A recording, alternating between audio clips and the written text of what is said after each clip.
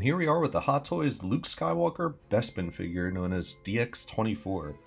I really like the poses that are on the outside of the box, but again, they're using images of the figure. I prefer that they would use artwork or the actual actor from the movie. I just think that'd be cooler. The interior box is awesome. I really love the reflective, like neon foil blue outside. When you move it and the light, you're seeing new images every time. which is very cool and it's just a great color and I think it just adds so much to the DX series. On the inside of the box, they have a cover that goes over the figure, and this is kind of the same quality as the inner box. And it's just like that same blue color with an awesome picture of Luke Skywalker. I love it. And here's Luke. Standard pose. I really love his outfit. I think he looks the way he should look. They did a fantastic job with this one, and it's right on par with the Return of the Jedi DX figure from The Mandalorian. Fantastic. It's in the box! So you get two hair sculpts. You get this uh, wet look, which is either like a Dagobah or fighting in Cloud City with Vader look, and then this combed look, which is like his Boogie Nights hairstyle. You got the touch!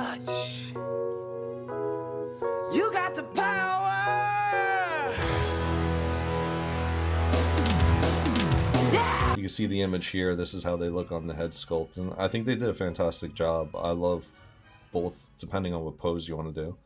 You also get a DL-44 gun, and then Luke's lightsaber. You get closed fists. You get two saber-wielding fists, one for each arm, and then you get a kind of force-wielding hand with the two fingers out, and then another closed hand, and then uh, an outstretched hand and a relaxed hand. On this, you also get the Whirlwind lightsaber blade and the standard non-moving lightsaber blade. Here's the light up arm, that's where you put the batteries in, and then there's the switch, it goes inside of the sleeve of the figure. When you turn it on, the LED blue light turns on, it lights up the saber. I wanted to show you this in dark light, that's why the shot is so dark. Here's the light beaming out of the saber blade. It's really cool if you want to do that sort of a pose, especially if you put them on the light up podium. The whirlwind blade looks amazing. Uh, that's probably going to be the way I pose them after a while. With this figure you get an accessory to the base, which I like to call the espresso machines, because who the hell knows what these are in the movie. So these are his Starbucks espresso machines, in case he gets tired fighting Vader. And this is his little Marilyn Monroe steam blowing up out of the bottom grilled platform from Empire. Maybe it's over here by this manhole. Ah! That is hot!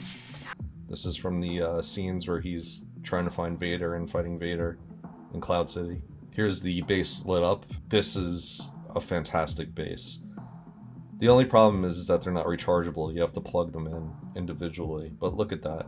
You got that red light beaming up the figure. And this is in like medium darkness. And it still looks that great. For the espresso machines, this is just uh, how you know that they're on and they're ready to make coffee. So I love the look of the utility belt. He has all the pockets, the little metal buckle, and the holster for the DL44. Everything looks really good, but this little strap on the leg, I almost broke it because it's supposed to slide up the leg, but I thought it was Velcro, like the back of the belt right here. But it's not Velcro, it's glued on. So I almost tore it apart when I first put it on. Just make sure you slide it up the leg.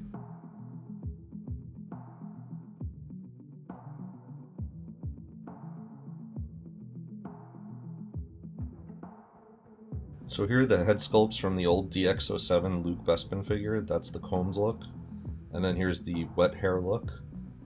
And then compare that to the new figures, and I think the new ones are extraordinarily better. The wet look and the dry hair is better. DX24 with the combed back Boogie Nights hairstyle. I really think they did a good job with it, and this is the way he looks when he enters Cloud City for the first time, searching for Leia and Han, Chewie, and all them. It's a profile shot. Both sides, it looks great.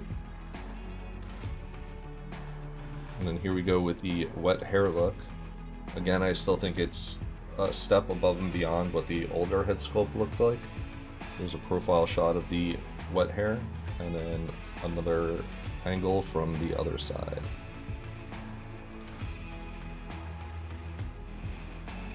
I was worried about the articulation with this figure because it's somewhat of a tight suit, but the movement on the arms is easily achieved. You can bend them and also move the arm up. There's a little bit of pushback here, so don't go too far, but you can still achieve that. And then the legs move almost to a 90 degree angle in the front, but be careful because the utility belt is connected to the leg, so you don't want to rip anything. And it goes all the way back.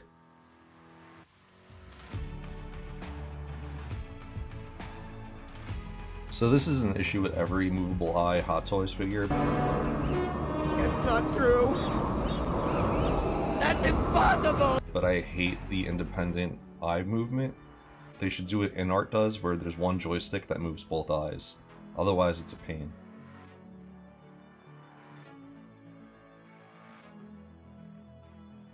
So I'm really fond of this figure. I think it's one that's worth getting. I can't say whether I would get this over the Mandalorian Luke Skywalker figure, but I think it's just as good. It just depends which Luke you want. If you want to get both, kudos to you, go for it. I do have one gripe though with these DX series figures. They're starting to put these USB charging ports on there. They're actually not even charging ports, they're plug-in ports so that you can light up your displays. It's really cool, but you have to have a separate plug for each stand, and this one's two, so I have to have two separate plugs to have the whole stand lit up. What Hot Toys needs to do is they really need to have rechargeable stands. This way I could charge it up if I'm having company over or I just want to light it up, I could charge it up, light it up, let it just sit there without having a giant plug coming out of it.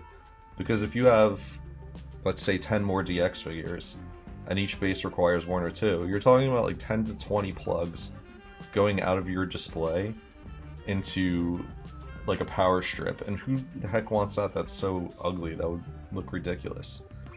With that said, I like everything about this figure. I like the proportions, I like the hair sculpt, I love the head sculpts, the weapons, the espresso machines are even cool, even though I think they're not necessary. It adds to the base a little bit. But it's definitely a figure that's worth getting. What's my final score? Nine severed hands out of ten.